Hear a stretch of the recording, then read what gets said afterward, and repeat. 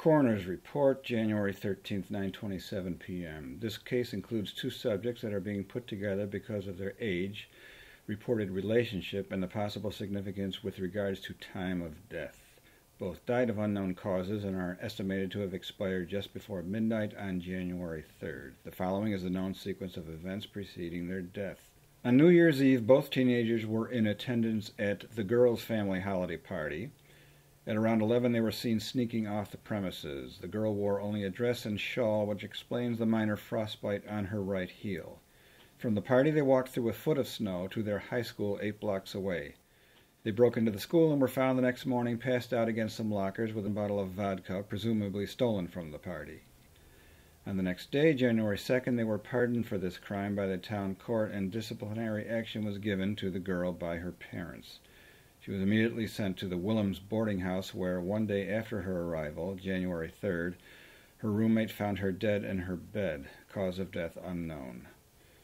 The boy was assigned to community service. However, before his duties began on that same night of January 3rd, he was found two blocks away from his house in pajamas, leaning against a mailbox with pen and paper in hand. Though hypothermia appeared to be the direct cause of his death, it is my conclusion that the boy expired before life threatening conditions took effect. The note the boy was writing said, I'm writing this letter the same night you left.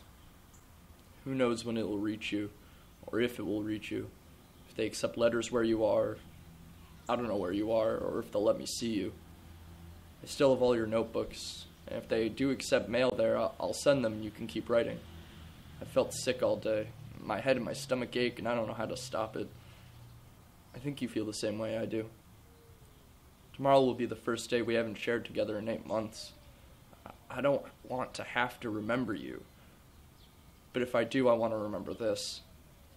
I've been keeping track with intentions of boasting of our accomplishments to you at some later date. Together we read a total of 534 books. You completed one rough draft of a play and are almost done with the second. I have over 60 completed drawings. Up until yesterday, we spent 405 hours at the spot, a little over 16 days total. For only two of those hours, I was alone. Do you remember how we met? I've tried and cannot. For all I know, you've been here since my memories began.